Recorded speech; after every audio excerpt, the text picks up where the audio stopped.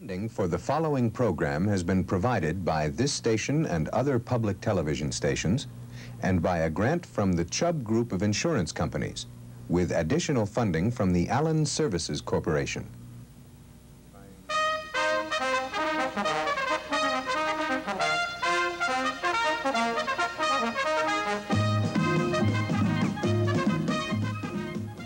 Good evening and welcome to what is unfortunately the final installment in this week-long showing of my 1973 Katharine Hepburn interview.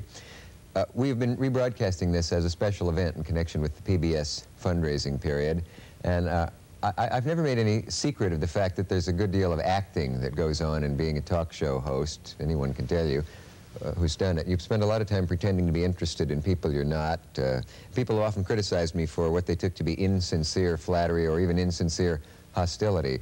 Um, often they had it absolutely back to front, were wrong. Uh, but the one thing I can flatly assure you of is that there was no faking necessary in the Hepburn interview.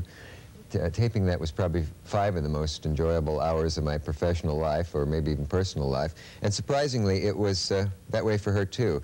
When she touches my arm at the end of tonight's show and says she didn't expect to have as good a time as she did.